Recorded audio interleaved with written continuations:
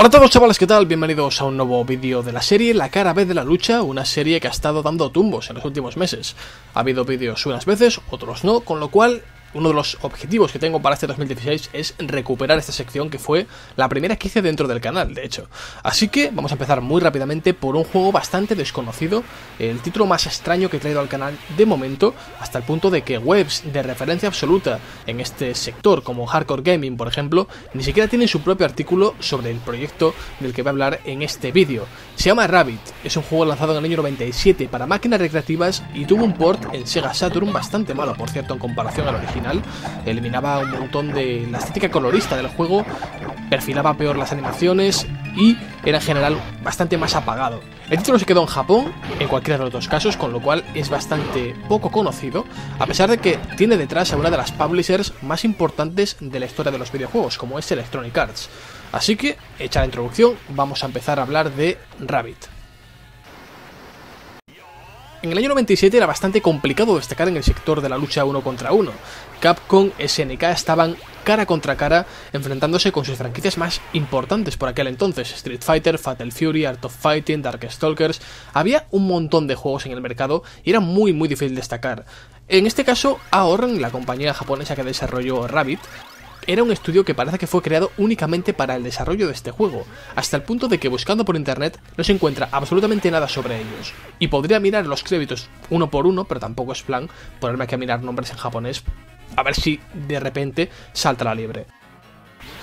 El caso es que Electronic Arts delegó en AOR en el desarrollo de este juego y luego desapareció, con lo cual es imposible hacer un rastreo de lo que hicieron antes y después.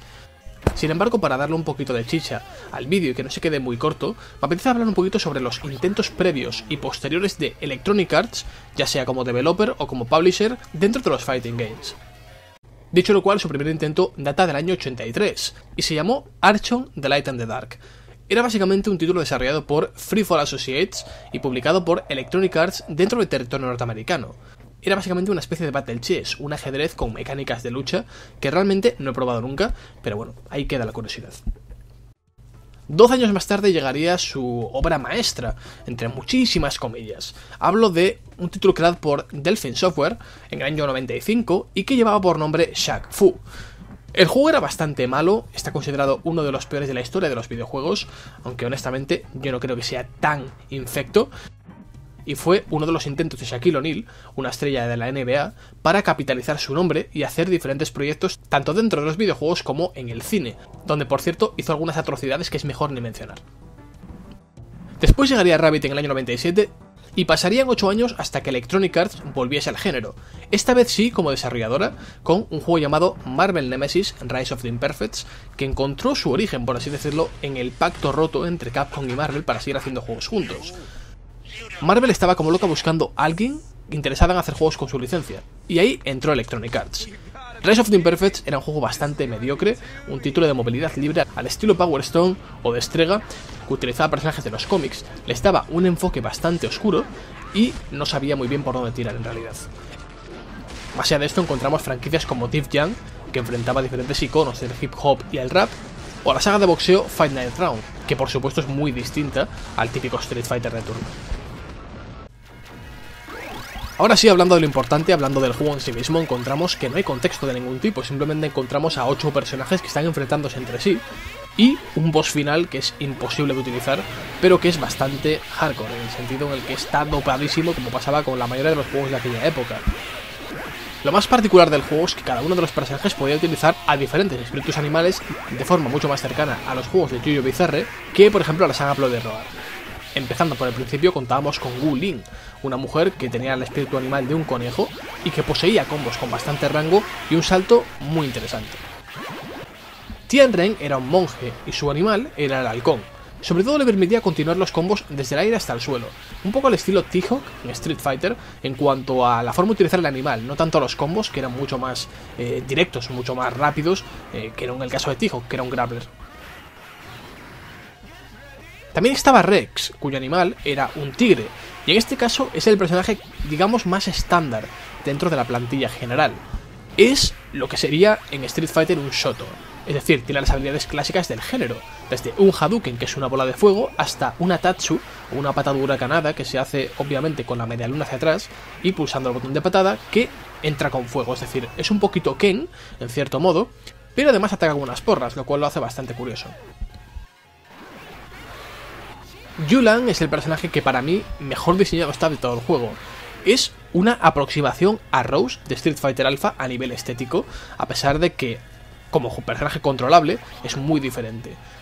Tiene combos directos, lanza torbellinos que elevan al rival hacia arriba, lo que nos permite continuar el combo, y su animal es el zorro.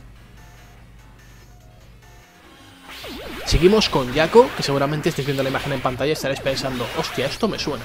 Y sí, se parece un huevo al personaje principal de Chrono Trigger, a Chrono. Usa una serpiente como animal, ataca con un lazo, al igual que Rose en Street Fighter, aquí están intercambiando los poderes, y tiene unas patadas bastante contundentes. Este personaje fue el que me llamó la atención sobre el juego, el que me hizo pensar que el juego podía estar bien, más allá de ser una copia de los chinos de Street Fighter, por así decirlo. No lo es en absoluto, pero cuando vi este diseño pensé, hostia, esto va a ser un exploit directo de otras franquicias. Al igual que Rex, Aegis parece el segundo personaje occidental de la plantilla. Su animal es un toro, y es tal cual un grappler al estilo Zangief, un personaje de agarres, con animaciones muy similares al ruso de Street Fighter. Hoenn, digamos que es el clásico matón de pandillas de los Final Fight. Es el típico personaje mole, súper lento, extremadamente, que golpea muy pero que muy fuerte, mucho más que Aegis, por ejemplo, y que tiene una máscara de payaso, lo cual le da un toque cómico, pero a la vez un toque bastante diabólico. Su animal es el lobo, uno que en lugar de ser vigoroso e imponente parece estar un poco pasando hambre. Es un poco personaje de Tex Avery y esto se refuerza con el diseño de Ho Wen. Por ejemplo, camina de forma bastante simiesca al estilo Donkey Kong. Y por último, dentro de la plantilla de personajes controlables encontramos a Little Eddie, un tío, un cantante que tiene forma de niño grande, básicamente. Su animal es un jabalí y ataca con un micrófono o con ataques de electricidad. Es mucho más rápido de lo que puede parecer al principio, es extremadamente ágil y golpea también de forma bastante contundente. También de forma no controlable tenemos al boss final. Se llama Zhao Long y es una especie de piedra mágica que hace cobrar vida a una armadura de esqueleto y está rotísimo hasta el punto de que te engancha con tres ataques seguidos y te manda al hoyo. Es bastante complicado de vencer porque está muy roto como digo y estéticamente tampoco es gran cosa. En cuanto a mecánicas de juego, Rabbit es el típico juego de lucha uno contra uno, que utilizaba cuatro botones, dos de patada y dos de puñetazo. Y lo que le hacía distinguirse de los demás era el utilizar a este tipo de animal especial. ¿Cómo se utilizaba? Básicamente recargando una barra de energía que subíamos o bien atacando al enemigo o recibiendo golpes o lanzando ataques especiales, etc. Cuando la barra estaba llena pulsando dos botones de puñetazo y una de patada, el animal salía a la pantalla y en este momento aparecía una barra extra en la zona inferior y con esta barra podíamos hacer dos cosas. La primera era ataques, digamos, EX, es decir, lanzar al animal en un ataque muy específico que rebajaba una porción de esta barra. Era importante utilizarlo porque el animal estaba un tiempo nada más en pantalla, con lo cual, cuando antes aprovechásemos este medidor, sería mucho mejor para nosotros. Además de esto, podíamos hacer ataques finales con los animales. De esta forma, los supers habituales de Street Fighter estaban representados también con esta mecánica. Por lo demás, encontramos lo típico en los juegos de lucha 2D, Contraataques, agarres, bloqueos, incluso un parry al estilo Street Fighter 3 que se hacía pulsando patada y puño débil a la vez y que paraba el hit del enemigo dejándole vendido durante un segundo. Momento que podíamos utilizar para contraatacar y darle una buena tunda. La sensación de jugarlo es bastante ágil, recordando más a los anime fighters como Darkstalkers, Asura Buster o Asura Blade que al propio Street Fighter clásico, aunque sí era bastante similar a Pocket Fighter, especialmente por su colorismo y por su estética. Y hasta aquí chicos, esta nueva entrega de la serie La cara B de la lucha, espero que os haya gustado el vídeo, en tal caso podéis darle un like, pulgar arriba, si no os ha gustado, dislike, pulgar abajo.